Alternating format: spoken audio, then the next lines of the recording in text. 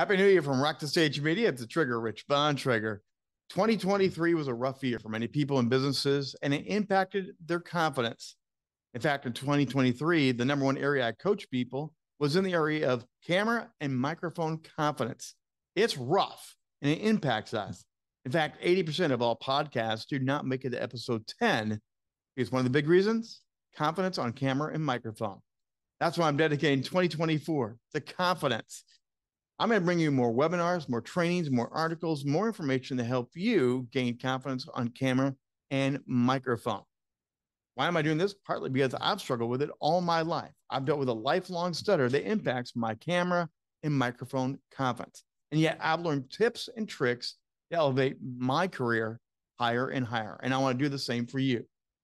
Let me give you one simple tip here today. To start off 2024, relax. Stop trying so hard. Relax and just be you.